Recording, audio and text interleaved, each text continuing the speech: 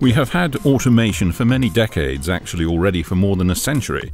The previous activities in the industry, on the assembly line for example, have been mostly already replaced by robots or by automated production methods.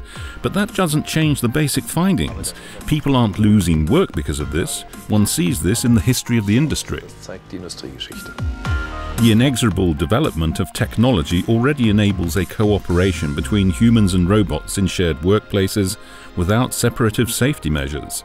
The new generation of collaborating robots is now moving into the medium-sized firm sector. Bosch has developed a supporting automation assistant for this market.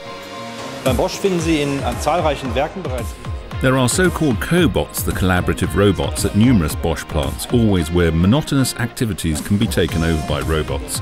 For example, at the end of a production line for packaging parts or inserting parts into machines. The APAS implements components in frames, which then must only be replaced by the employee. At first, the staff was a bit skeptical of robots because they were afraid of losing their jobs.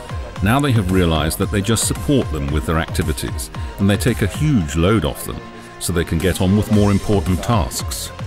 The precondition for the success of this human robot collaboration is an appropriate workplace and robot design so that people will not be endangered.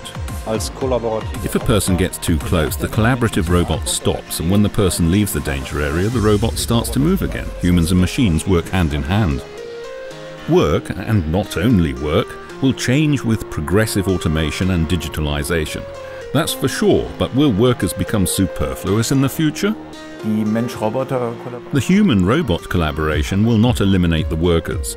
Robots will help with the daily grind at work and will basically assist people. Grunde den Menschen assistieren. Aber But routine activities will be lost, yet more sophisticated tasks will appear. At that point, the magic word will be changed through education, through qualifications. That will be the big challenge. große Herausforderung werden. These fundamental changes are already taking place. Various scenarios are thinkable. In the ideal world, this will unleash creativity and intelligence, more possibilities for communication, to concentrate on the important things. In the worst case, humans will be exploited, will become a source of data gathering frenzy.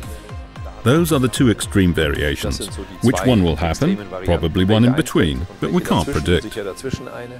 Das lässt sich heute schwer vorhersagen. It is up to us how we shape the future promisingly. Automatica showcases these ideas from the 21st to the 24th of June 2016 in Munich.